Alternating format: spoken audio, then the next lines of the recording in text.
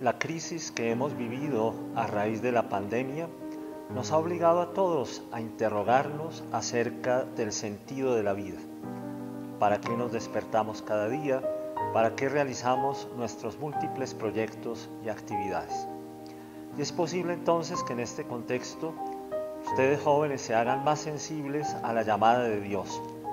Es posible que Él quiera llamar hoy de entre ustedes apóstoles del sentido de la vida de ese sentido que solamente Jesucristo nos puede descubrir y que le da razón de ser no solo a nuestra actividad, sino también, como lo hemos vivido durante estos días, a nuestro sufrimiento y a nuestro dolor.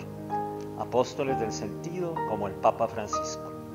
Si Cristo te llama a ser apóstol de aquello que le da razón de ser a nuestra vida, no lo dudes un instante hay muchas actividades, muchas profesiones, pero es necesario alguien que nos recuerde en Cristo cuál es el sentido de nuestra vida.